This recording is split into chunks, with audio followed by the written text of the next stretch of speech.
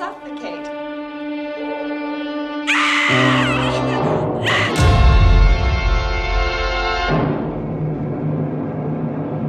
Him, it's my daughter-in-law. He's got the crazy idea she isn't his mother. She isn't. She isn't.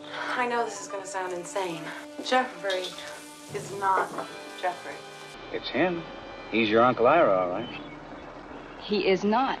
He isn't my husband. It's someone who looks like him. He's an imposter.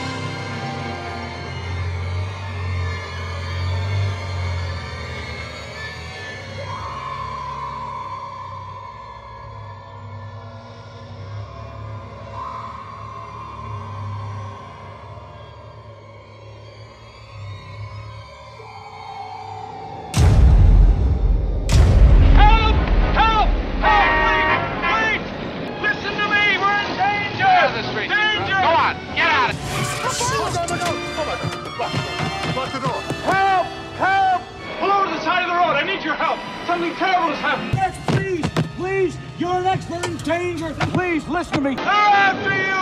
They're after all of us! Our wives, our children, everyone! They're already here. Help!